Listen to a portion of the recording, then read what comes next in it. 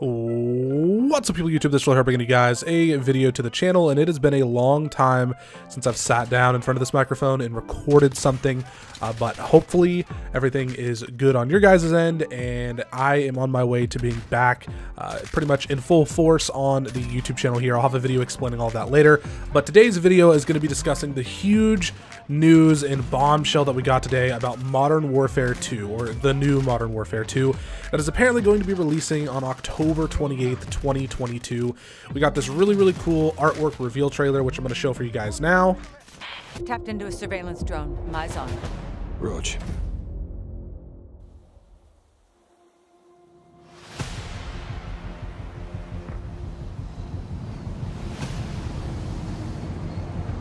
Right, lads, well, we're in position.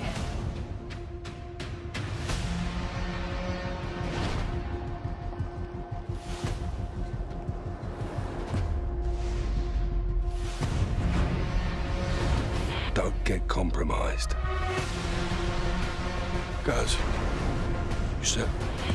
Wouldn't miss it.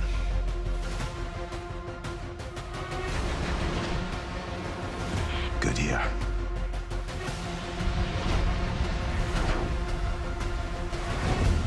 This is it, hermano.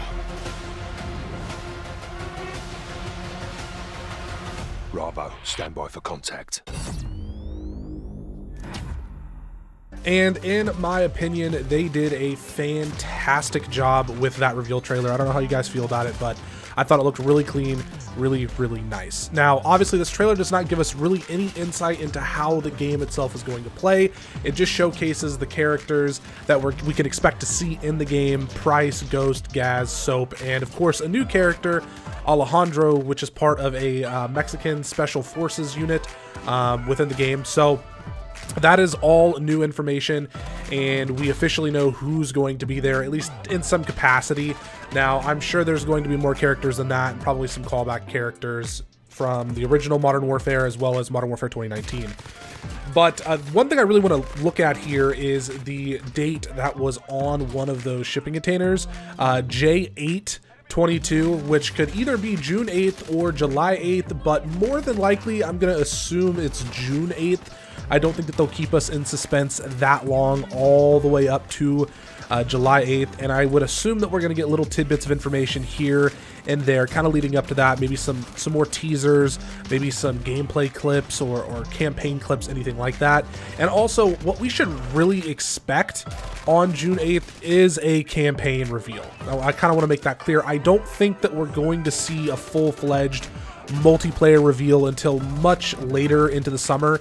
Typically, uh, Activision likes to do this around their, you know, Call of Duty XP event that they do at the end of the year, Call of Duty Champs, because it pulls in more viewership for not only that, but it also kind of just bleeds over into the release a lot better. I'm actually really excited about the October release date as well.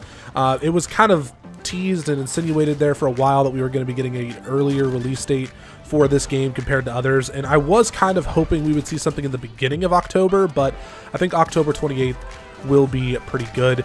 I I'm also trying to not get too excited about this game because obviously the past year, especially or two years, has been pretty rough. And I was not the biggest fan of Modern Warfare 2019 for some very specific reasons.